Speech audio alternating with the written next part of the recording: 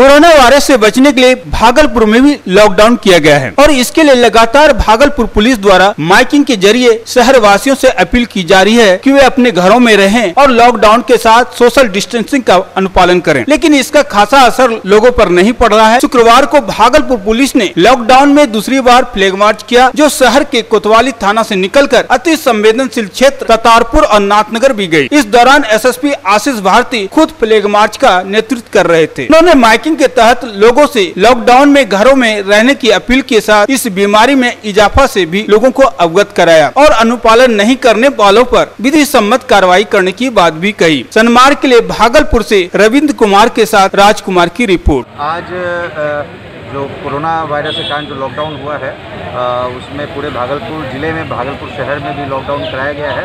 और इसमें अधिकतम तो जो दिन है वो करीब सत्रह सोलह सत्रह दिन गुजर चुके हैं।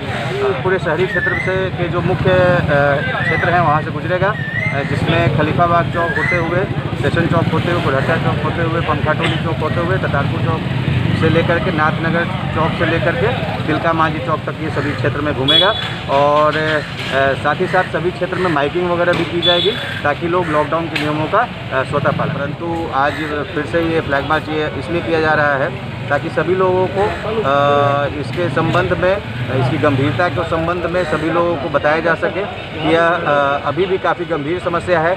दिन प्रतिदिन पूरे भारत में और बिहार में भी इसके जो केसेस हैं वो बढ़ते जा रहे हैं। तो यह जो लॉकडाउन है, वो सभी जनता की सुरक्षा के लिए है। तो लोग अपनी सुरक्षा के लिए और अपने समाज की सुरक्षा के लिए स्वयं लॉकडाउन करें और अगर वो नहीं करते हैं तो पुलिस के द्वारा जो विधि सम्मत कार्रवाई है, वो की जाए। सनमार्ग भागलपुर के वीडियोस देखने के लिए हमारे चैनल को सब्सक्राइब करें और नोटिफिकेशन पाने के लिए बेल आइकन को प्रेस करें।